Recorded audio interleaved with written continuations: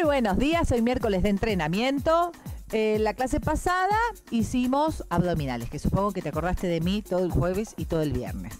Bueno, no importa. Yo me banco que te acuerdes de mí. Pero hoy vamos a bailar. O sea, no te va a doler nada mañana, te vas a divertir un rato, nos vamos a entretener y vas a quemar calorías, que es lo que necesitamos hacer aparte de prepararte muscularmente. Así que corre, muebles, silla, mesa, todo. Hoy no necesitamos colchoneta. Tu botellita con agua. Atate las zapatillas que comenzamos a entrenar ahora. Hay calor en.